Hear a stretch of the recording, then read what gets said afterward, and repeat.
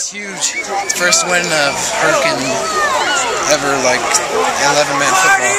It's just a great feeling to be out here in the snow, freezing my butt off, knowing that we're state champions. Um, maybe a little here and there, but then we just picked each other back up and kept pushing along. Came out second half, and everyone did just great. Just hard nosed football, I guess. I don't know.